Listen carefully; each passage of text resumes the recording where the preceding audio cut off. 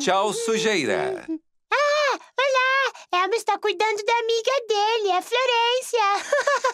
Hã? Opa!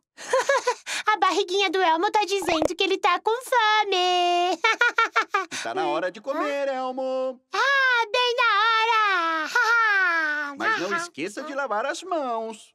Ah, ah, mas por que Elmo tem que lavar as mãos dele, né?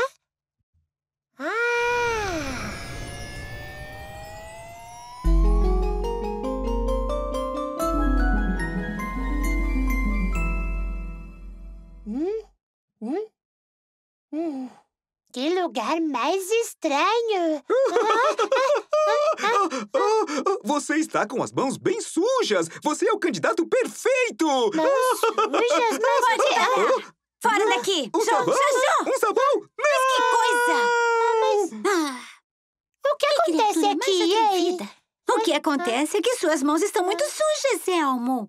Ah, mas Elmo não está vendo sujeira nas mãos dele, não. Por Elmo tem que lavar as mãos dele?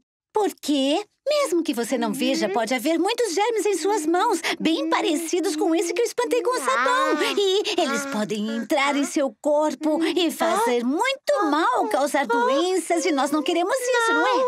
Elmo quer lavar as mãos dele. É. Que bom! Já que é assim, Elmo. Ah! Au! Muito bem, é muito fácil lavar suas mãos, Elmo. Você só tem que fazer o que eu disser. Ah, ajude o Elmo! Lave suas mãos Lave suas mãos com água e sabão. com água e sabão. Esfregue entre os dedos Esfregue entre os dedos e limpas elas estão. e limpas elas estão. Ah!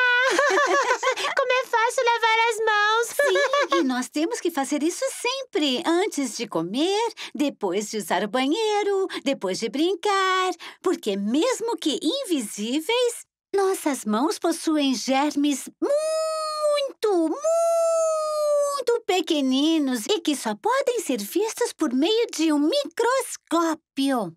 Mas se os germes são tão pequenininhos, como é que aquele germe era tão grande? É simples, Elmo. É porque nós estamos dentro de um microscópio. Ah!